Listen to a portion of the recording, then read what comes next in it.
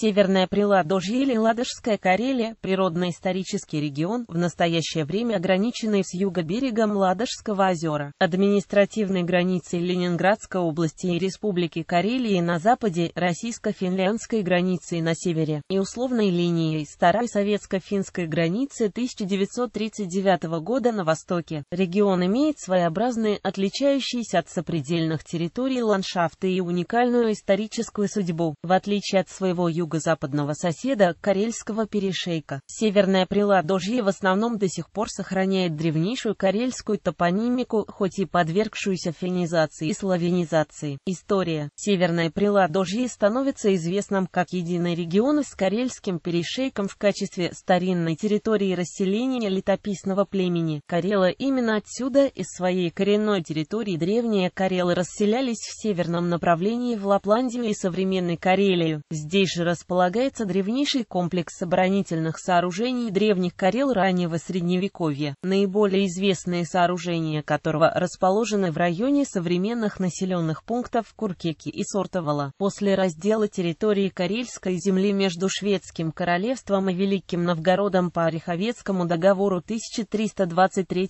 года Северное Приладожье отходит Новгороду. На территории региона располагаются погосты Карельской землеводской патины Кирьяшки Сердобольский и Ломанский, Соломенский. Из-за близкого соседства со шведскими землями население погостов часто подвергается грабежам и разбою. С 17 века Северное Приладожье отходит во владение шведского королевства и на сто лет становится частью Киксгольмского Лена. За это время православное карельское население почти полностью покидает регион, а на его место приходят финно-лютеране из центральных областей финляндского герцогства шведского королевства. Регион регион теряет свою этническую и религиозную самобытность. После окончания Северной войны Приладожье наряду с другими шведскими владениями снова отходит к России, где становится частью Выборгской губернии сначала непосредственно в составе Российской империи, а с 1811 года в составе Великого княжества Финляндского Российской империи. В 1917 году Финляндия получает независимость и Северное Приладожье становится для Советской России заграничной территорией. Эти изменения не повлияли на этнический и религиозный состав населения региона. В ходе Зимней войны финское население Северного Приладожья, отошедшего к СССР, было эвакуировано в Финляндию. В 1942 году, после оккупации этих территорий финскими войсками в ходе Советско-финской войны 1941-1944 год, финское население временно возвращается, а в 1944 году, после освобождения территорий советскими советскими войсками возвращается в Финляндию. С этого времени население региона составляют переселенцы из районов РСФСР и других союзных республик. С 1940 года Северное Приладожье административно относится сначала к Карело-Финской АССР, а с 1956